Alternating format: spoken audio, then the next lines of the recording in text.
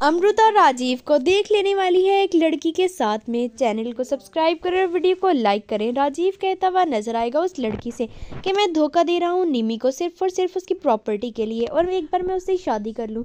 फिर उसके बाद उसकी प्रॉपर्टी लेकर हम भाग जाएँगे। तो जिसके बाद में अब ये बातें अमृता सुन लेगी और जाकर परिवार वालों को बता देगी, लेकिन कोई भी अमृता का यकीन नहीं करेगा, सब बोलेंगे कि अमृता झूठ बोल रही है ताकि निमी की इतनी अच्छे खानदान में शादी ना हो सके और वो उससे जेलस हो रही है क्योंकि वो एक मिडिल क्लास फैमिली से बिलोंग बिलोंग करती है और वो निमी से बदला लेना चाहती है क्योंकि स्टोर में निमी ने उसकी इंसल्ट की थी, जिसके बाद में क्या विराट यकीन करेगा अमृता पर या फिर नहीं? आप लगता हैं हमें कमेंट करके ज़रूर बताएँ और हमारे चैनल पर नहीं, अभी तक सब्सक्राइब नहीं किया तो चैनल को सब्सक्राइब करें, वीडियो को लाइक करें।